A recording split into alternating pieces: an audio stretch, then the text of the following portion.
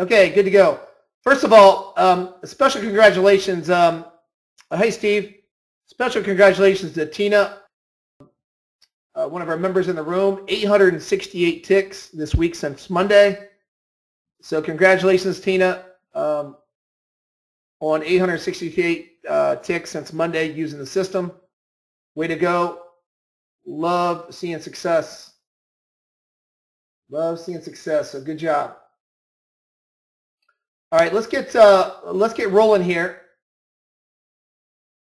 L let's get rolling on uh, on the setup. So we we talked about last week. We talked about the W uh, the WPT. So we talked about the WPT.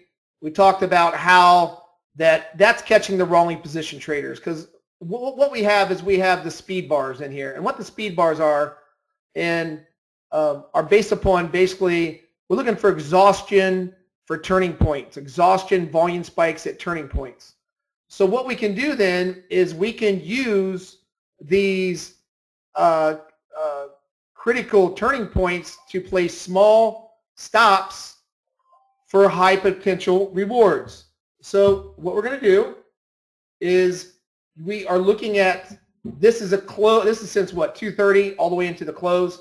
Uh, it finally got stopped out on the um, on a uh, this is a 38 ATR. I use a 33 and a 38 ATR on my WPT trades off of the 5 Sim Renko. So this is a 5 Sim Renko. 5 Sim Renko. Um, yesterday, uh, I was talking with someone in the room. forget who it was, but this my, my longer one, I like to use 38 to contain a WPT. And my shorter one, I, I like to use um, I like to use the 33 and the 5 Sim. I don't like to go any shorter than the 33 ATR when these WP, WPTs come up. Um, you know, as Tina did very well today, over 800 plus ticks uh, this week uh, with the five minute, I mean five sim and so on. It, it just it's a really good ATR to work off of. Uh, 33 is one of my best levels. If you want to contain price on pretty much a whole trend, um, I wouldn't go higher than 38, 36 to 38, but I like using 38. So we'll go down through here. I want to take a look at this oscillator down here today, how we use this, and how you catch these WPTs. And so when um, WPT, why did I name it, and how did, how did we design this? Uh, basically, what it, all, all, we're trying to do is um, I was a big fan of market profile. Uh, Peter Steidlmayer uh, came out with market profile in 1985, and then uh, price profile, and they came out with volume profile in 1994. So ever since then, when I've been trading the markets, um, profile was one of my biggest things I've always followed. He's one of my biggest fans. Um, so him, Tom DeMark, and also Larry Williams, three of the top traders that I've really followed and I, I, I really love. So what I what what I uh, loved about Pete is that uh, Peter is that you know market profile has stood the test of time. It's based upon order flow. Well, that's why I designed these speed bars, these green bar boxes and these red boxes because these are basically volume spikes in the market that let you know of possible turning points. What I could not uh, figure out with um, with Pete's volume spike system that he has, there's so many, I really couldn't figure out a, a, system how to trade them.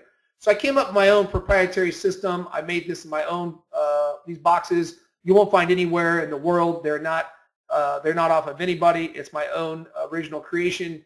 Um, so nobody sells these and no one has these out there. So, so what I did is, is I made it into a visual, uh, uh, a visual interpretation of the market on any market. I don't care if it's futures, stocks, forex, currency. It doesn't matter. And what happens is when you see a red box, that's obviously they're hitting the bid. When you see a green box, that's major buyers hitting the ask.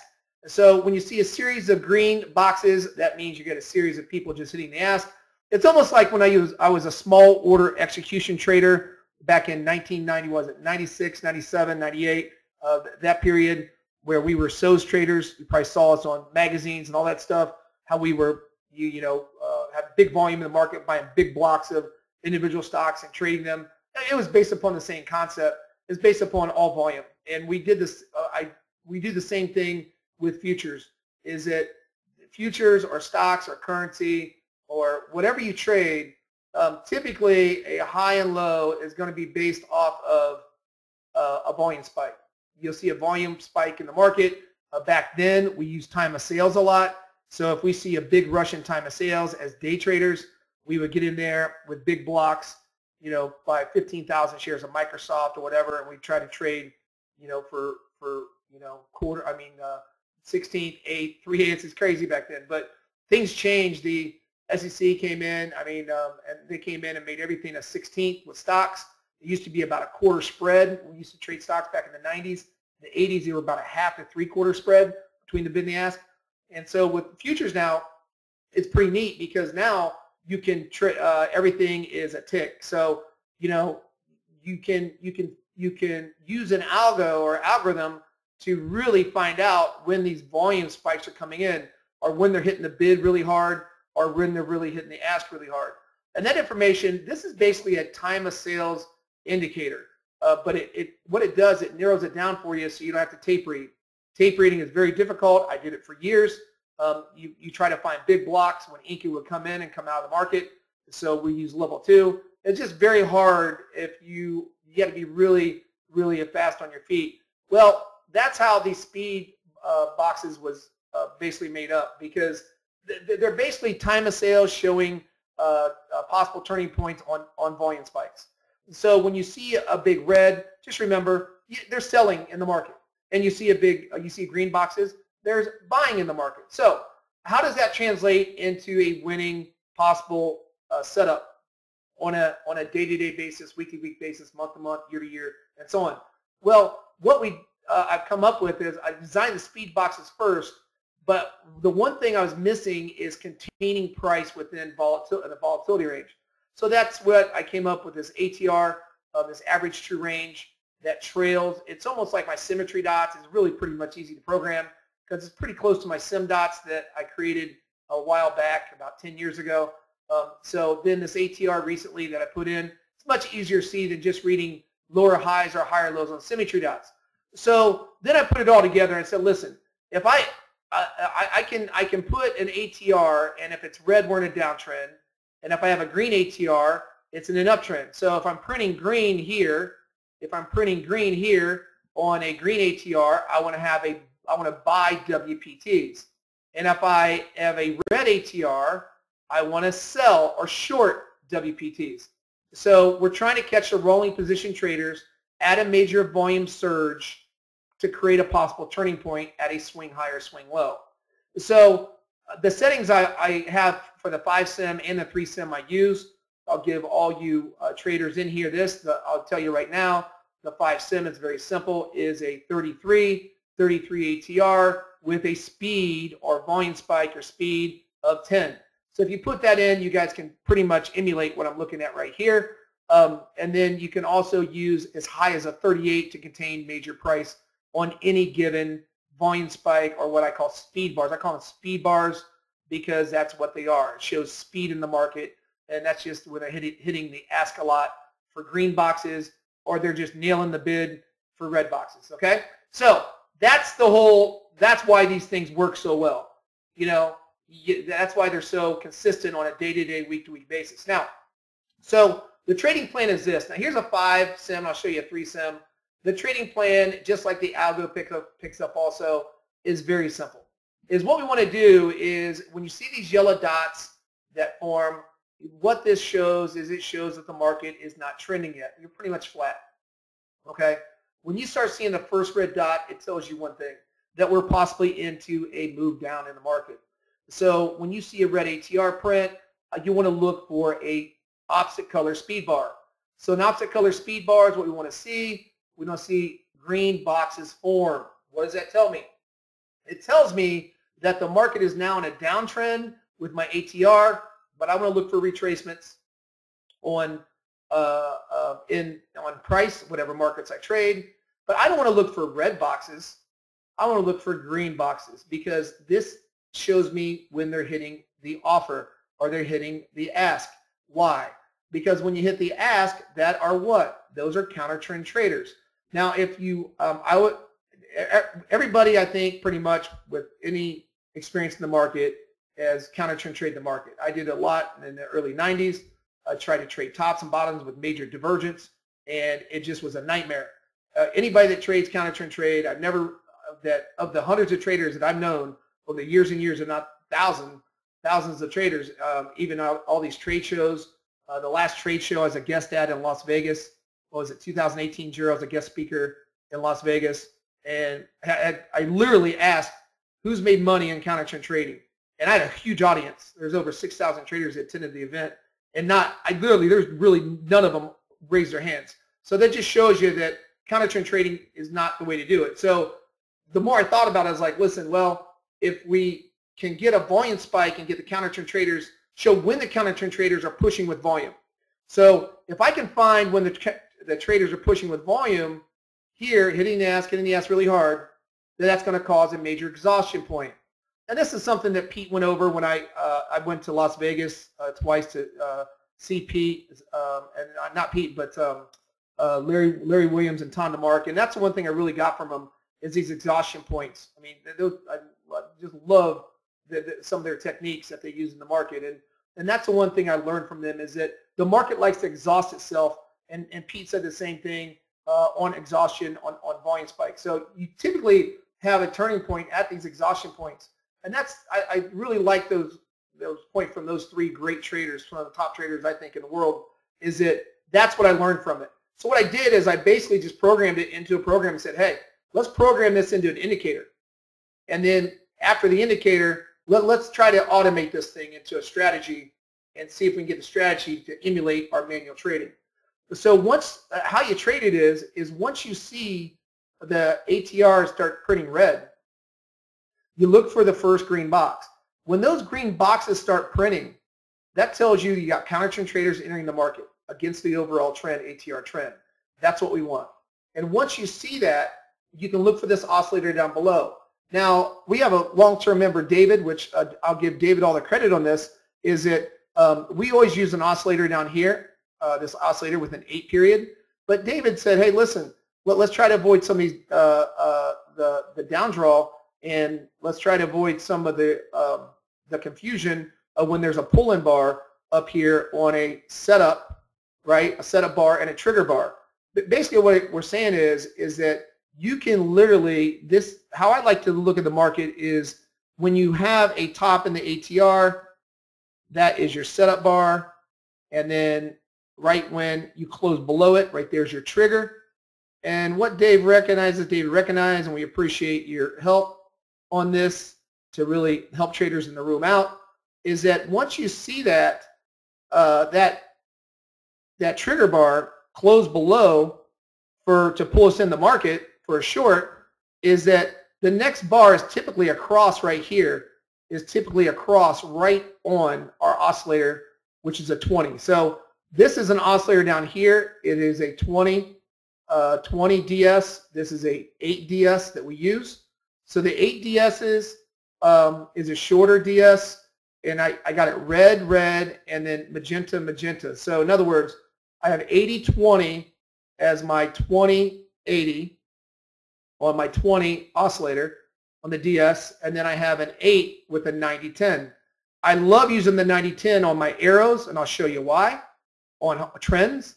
And, but, and, I, and this works well for confirmation on a trend, especially on the 3 sim, and I'll show you that also. But so we use an oscillator down here to confirm our volume spike or what are called speed bars, our counter trend traders that are coming into the market. Okay, and that's what we want to do we want to try to um, we want to try to get into these exhaustion points with the minimum amount of risk we can with the highest amount of reward. And, you know, just like Tina doing over 800 plus ticks, you know, she's had some big runners. It's all about the runners. It's not about scalping for, you know, two ticks, three ticks, four ticks. These are high reward to risk ratios that we're dealing with uh, setups, I'm sorry. So if you look at this, when you got the volume spike coming in on this 5, 5 sem, if you look down here, we get a cross below. If you look right here at the 8 DS, it crosses below right there above your 20, I mean above the 90, and then it crosses below the 20 right into resistance. Now, with some traders are using hotkeys for the 5 sem, and I showed you how to do that in the last video where you wait till you get a, it actually comes up to this level, is getting close to that level, and you can go three ticks or four ticks above the ask or below, I mean, above the bid and below the ask. Um, so, um, so if you're trying to buy, you're trying to buy the retracement, trying to sell, you're trying to wait for that hotkey to come, I mean, that uh, limit order to come back in, and then chart trader will take over. You can do that, or you can just buy the bid or sell, I mean, sell the bid or buy the ask. It's up to you. But you can, if you are going to use hotkeys, uh, the one thing about it is 5SIM is the best chart to use. 3SIM, I'm sure uh, we have some traders in here that use that. You're going to miss opportunities because limit orders will, on a 3SIM, they'll leave you behind. They'll straight leave you behind. All right, so um, these setups are so powerful by themselves is that um, a lot of traders just buy the ask or sell the bid. Um, but if you look at the next one when we come in, so we have an, we have the first volume spike here at around uh, what 250. Next volume spike into symmetry dots. It comes within one tick of my level. Let's just take a look at the oscillator. The oscillator rolls over. The 8 goes right below it, right at that pull-in bar at that level. But look when we cross the 20 right here also, and then you get the big giant push down. And guys, these are not small moves. I mean, the the high on the S&P there is 45, 45, 75. You know, the next one down here is all the way down to 20 already. So these are huge possible S&P point moves. So then we move our way down, and this is what I'm going to talk about about the arrows. First of all, if you get a re when the triangles come up on your indicator that you guys have, and this works on all markets, you can put this on all markets. When these triangles come up, I like to use to see use this oscillator down here. You can use either one. You can use the 8 to get you in or the 20 to get you in. But I like using the 8 on the retracements and hard trends. That's my favorite. Now, it depends if you want to get a little bit later fill for confirmation using the 20. I love retracements using this 8 oscillator coming up through 90, coming back down through 90, coming down through 10, up through 10, only after my triangles print.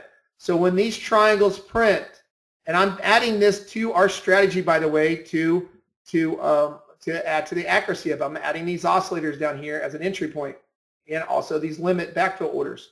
And I'm doing that for you guys uh, uh, currently. So on the next update with all our strategy and stuff like that, um, I will be adding this oscillator down here to it. But the bottom line, when you manually trade this, right here, if you see these triangles print, these are Fibonacci triangles. This has nothing to do with order flow, and I want to make sure this is clear. These triangles are simply Fibonacci retracements. That's all they are. They're simply Fibonacci retracements. Okay? Um, Terrence, uh, since the ATR spread is adjustable, how do we tell retracement versus reversal? Uh, the retracements, you can use the oscillator to tell you down here, the oscillators. On the WPTs, I want to be on the outer edge of my ATR. So if I use a 3SIM, I want to be on a 25 ATR. If I use a 5SIM, I want to be on a 38 or 33, period. If I use a retracement, a retracement, I want to be butting up against the SIM dots or up against the ATR. I don't want to be in the middle of no man's land. I want to butt right up against SIM dots. I want to butt right up against ATR. Very simple. Keep it simple. Don't make it any more difficult than that. All right. So when you come here, see, you look when these uh, triangles start printing, this is strictly retracement trading. So if you look below when the oscillator crosses, there's your entry. Nice big move. On This is not a small move either. If you look on the 5 sim, 27 and a half all the way down to 20 and a half. That's a five point, I mean, seven point S&P point move just on that retracement. So then we come up again and we have the WPT, WPT again. If you look at it, the WPT comes in. Look at your oscillator giving you confirmation to roll into the trade. I, if you use the 20, you're going to get less stop outs, but you're going to give up more ticks in, in between the high and your entry. But it avoids, like David came up with, it avoids a lot of times your M top or W bottom drawdowns. All right, and avoids the WPTs that typically don't work out if it just pushes straight through it. My rule of thumb, if you close two closes outside of my ATR, so let's say this starts printing green uh, WPTs, right? And you get you're trying to catch the wrongly position traders right here. Here's they're hitting they're hitting the offer right here. All right, they're hitting the offer. You want to fade this offer. You want to short it with trend. Well, if it blows two candles above this ATR 38, The, you know, you got to tell yourself, you know, just back off, wait for the next WPT. If not, you better have a smaller stop because that happens a lot, okay, where it closes two candles close uh, away from it, just forget about it. And that's why this 20 will help you out because typically, and that's why I like how David came up with it, if it, if it comes up this ATR and if it wants to blow through the ATR and not reverse like this, this 20 typically does not go right back below the 80. It will just, it will, it will go stay above this 90%, right? Stay above 90% and never come back down. So, um, and it be, and then it'll close, two candles close outside of it. Then we come to the next WPT, same setup, same thing. Look at them hitting the offer. They're hitting, they're hitting buy, buy, buy, buy, buy, buy, buy, buy. All these counter trend traders. We're looking to short. We're trying to fade it. And I love this setup. I cannot tell you how much I love this setup. In fact, I'm going to use this as a confluent setup in our strategy when you click both toggle switches on the algo is that if the if you get a triangle retracement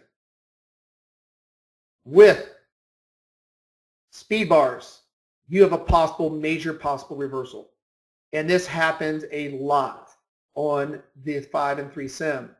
If you get right here again, up here it happened also right here. See this? That called that major high of 44 and a half. And that sucker went all the way down. I mean, it just got cranked. But you can see we had the triangles that came in right at the ATR with exhaustion. Right here with speed bars. Same here. Same here. Look at these inflection points. I, I get tickled pink when I see this. When I see that little triangle print at the high bar and I see speed bars running into the ATR, I have a very high probability uh, uh, a setup right there when they are combined. Now, you don't have to have the WPT. You can have a retracement. Here's your retracement trade. It's got to stop a symmetry or the ATR, though. I don't want it down here just above this bottom ATR. I want to be hugging this AT, uh, sim dot or I want to be hugging my ATR. Once again, look at your oscillator, cross below 20 to, to power you in the trade. And right there you go. And the market just, look at that, sell bid, sell bid, sell bid, sell bid, sell bid. Just beautiful trading. So then we come to the next WPT. Next WPT again. This is what David was talking about. Look how the 20 on this eight on this WPT. It's good to learn from this. Let's look at these two WPTs. Look how it comes down to it. It rides right on it, rides back up, and then it finally closes back below it, and you get sell bid, sell bid, sell bid. You get these big sellers coming into the market.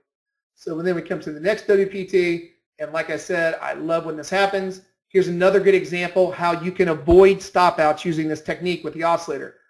Beautiful textbook technique.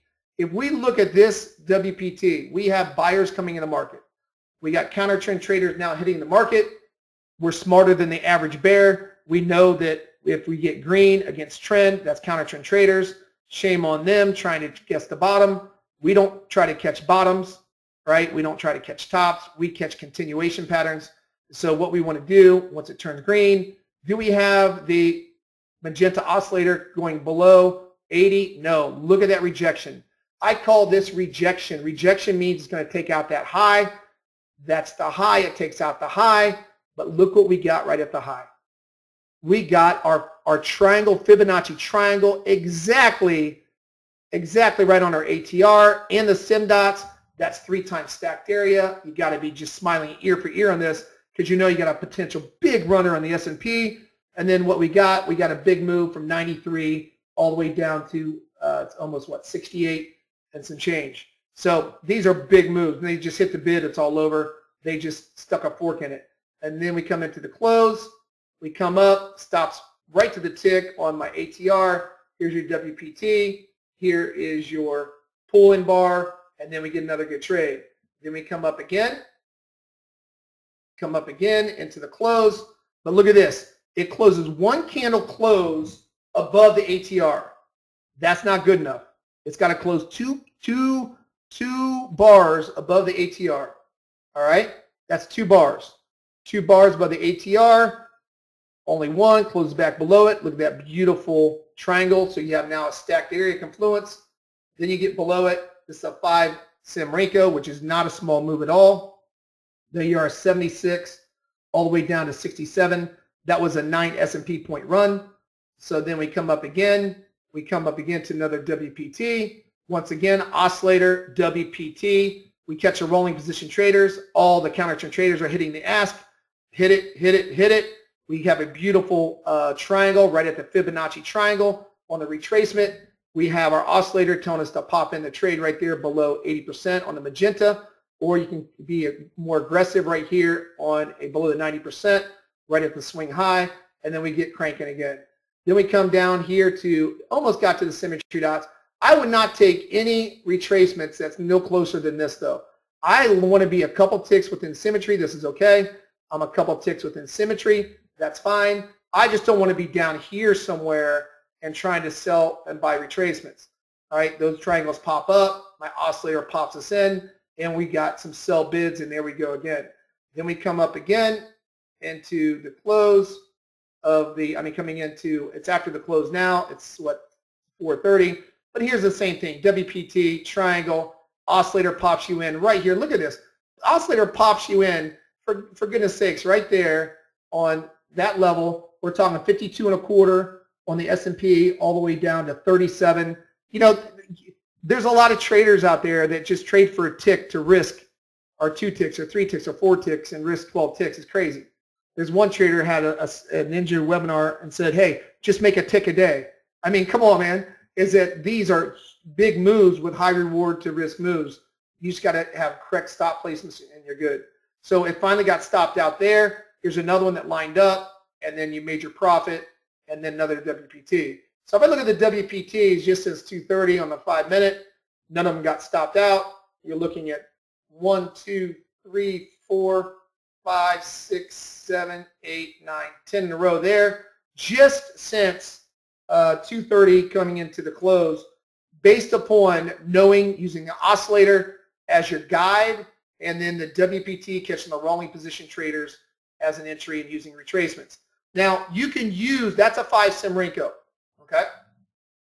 The 3 sim, if we look at the 3 sim and we pop the 3 sim, uh, the ATR is a 33 is your normal ATR. On hard trend days, you can use a 38. Those are the two I use, a 33 and 38. Yep, Thomas. And then on the um, on the three sim, I just use a straight 25. Uh, my sim dot settings are 25. All right, so if you look at the buy, this is a three sim. The buys are the same way, guys. We had a big surge this morning. I know a lot of you traders got on this when we are in the room. We're talking about it. There it is. Same thing. If you use a smaller time frame, it's a, it doesn't matter what time frame you use. They're all universal, okay? They're all universal. And Gerald gave me five minutes here, buddy, and we'll shut this off. But here we go again. We start green. This is green now. Um, I didn't get a chance to go over market profile for targets, but all the way back here at 745, I set our target up there at was 76 and a half. I showed traders in the room how to draw that line on for targets, and I'll show you what happened, but we had a, we hit it perfectly, and then she crumbled. But there's your WPT. Now the market's in an uptrend. We're green. So now what do we want? Do we want to look at the green speed bars or volume spikes or we want to look at the red? No, now we want to look at the opposite color, red. Now we want to look at red. Red tells us we're trying to buy the retracement. We're trying to buy the, the, the, the volume spike into the low and trying to get the move up. Look at your oscillator that helps you out. So let me blow these up so you can see better so you understand the setup. But look at my favorites of Doji. I love when a Doji's formed. A Doji's an indecision between the buyers and sellers. And look at the 20 crossing through. Gave you just a beautiful buy. If you want to be more aggressive, you got your 20 that got rejected at the Doji. If you want to buy right on the ATR, that one got that one moving really well. The next one, same thing. You come down to it and look at it coming down. Look at the oscillator. Oscillator gets above right there. Screens above your 20. That's your pull-in bar. Or if you want to wait a little bit later to be a little bit more conservative, let the 20 come through the 20. I mean, the, the 20 DS come through the 20. And then you're rolling right here, which is a huge move still. That's 50 and uh, 60 and three quarter potential all the way up to 70. So you're talking about almost a 10 S&P point move just off of that also. So the shorts on the three sim are the same way. The retracements are the same way. So here's a nice retracement. Listen, if you're going to get these retracement arrows, I like them when they, I mean, I not like them. I love them when they come up as confluence. Here's a, on the three sim, just like I showed you on the five sim. I mean, there's your three sim, five days back. But look at that. Look how beautiful that is. You get your triangles right down with your oscillators crossing into a WPT, catching all the counter trend traders. Same thing here. There's your triangles near the ATR. Look your oscillators crossing. Nails that big giant move. All right, so use it. You can use these oscillators for the retracements and also the WPTs. So as we get rolling, that was my target for for this uh, for the morning session uh, up there at that level, and we had a nice little uh, reaction off of it. I show you how to draw those market profile levels in on your own chart, and we'll uh, we'll go over that again tomorrow. Um, Wednesday, Thursdays, and Fridays. Uh, Wednesday I did it and had some major inflection points like that also. Um, we had some major moves off those levels again today. So that's something we'll look at. But if you look at another, if you look when it buy, uh, when you break through, let me find another one. Here's the WPT. When you break through, uh, same thing. Here's your WPT. Green oscillator, I mean green ATR saying we're going up. Look at your oscillators coming through. If you want to be a little bit more conservative, let the 20 come through the 20. There it is. If you want to be a little bit more aggressive, you can buy right on the doji with a small stop below it. And then it got that big spike. Uh, the afternoon was the same way. You can see how these my levels HVA stopped again.